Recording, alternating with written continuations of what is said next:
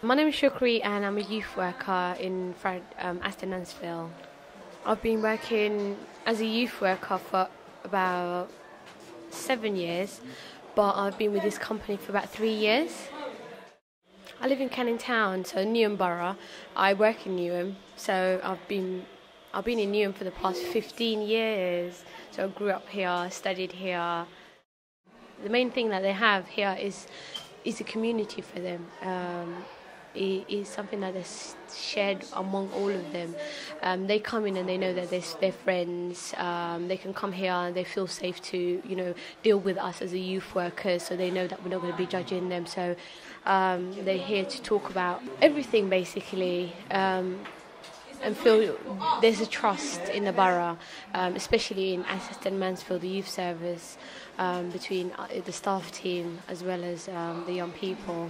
Yeah, and the young people, it is a place, it's a safe place for them because it could have been, you know, like when we talk to them about the funding cuts, job cuts and stuff like that, um, they get quite frightened and they do ask, oh, are you going to be existing and stuff like that.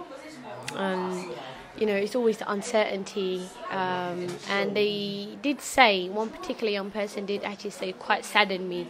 Um, I don't know what I'll do if this service is not available. Like this is this is everything that I've known, and there's nothing else like in in the area.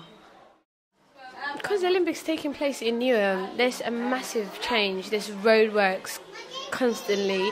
Um, there's traffic. There's um, new buildings. It could have been anywhere, but it actually came to Newham, um, which is one of the most deprived areas in England. So it gives um, it gives this new highlight, new hope. Everyone knows about Newham.